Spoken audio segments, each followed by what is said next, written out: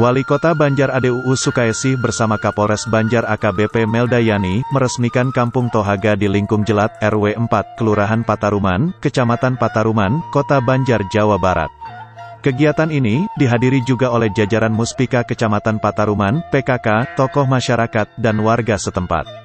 Kampung Tohaga Lodaya merupakan program di mana masyarakat bisa gotong royong dan mandiri dalam menghadapi situasi pandemi COVID-19.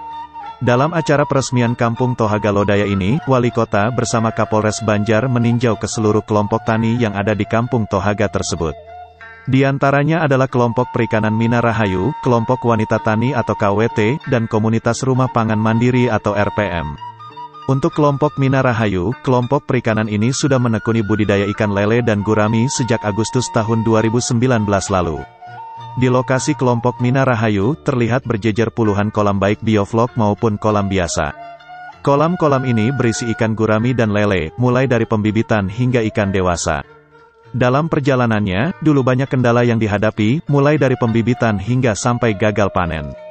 Namun, berkat kegigihan dan kekompakan anggotanya, akhirnya usaha kelompok ini stabil dan membuahkan hasil.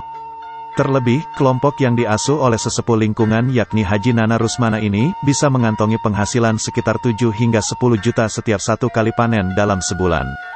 Selain budidaya ikan, kelompok Mina Rahayu juga memproduksi pakan ikan sendiri, yakni dari sisa buah-buahan dan sayuran yang dibusukkan di sebuah tempat, kemudian mengambil hasilnya yaitu berupa belatung, dan selanjutnya dipakai untuk pakan ikan lele dan gurami yang terdapat di kelompok tersebut.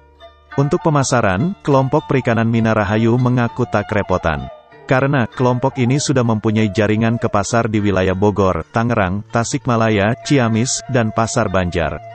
Selain itu, wali kota juga melihat produksi UMKM, di antaranya produksi makanan ringan seperti keripik talas, keripik pisang, nagasari, pangsit, jamu hasil dari tanaman obat, serta makanan dan minuman atau kuliner hasil karya UMKM di Kampung Tohaga Lodaya tersebut. Tidak hanya itu, di kampung Tohaga ini juga berdiri pos kamling yang merupakan sarana keamanan untuk masyarakat.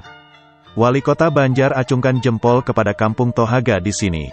Pasalnya, masyarakat di sini sudah berhasil meningkatkan ketahanan pangan, ekonomi, dan sumber daya manusia. Sementara itu, Kapolres Banjar mengatakan, keberadaan kampung Tohaga ini jangan hanya dijadikan seremonial saja. Menurutnya, di masa pandemi COVID-19 ini, dia berharap masyarakat bisa mengembangkan sumber daya alam dan sumber daya manusia.